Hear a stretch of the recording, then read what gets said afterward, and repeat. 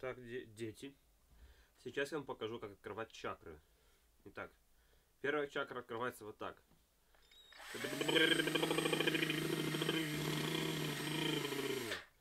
И вторая чакра открывается следующим образом.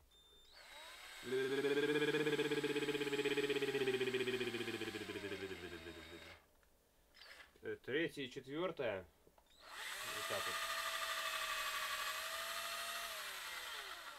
Ну, четвертая аналогичным образом. Пятую показывать не буду, это неприлично.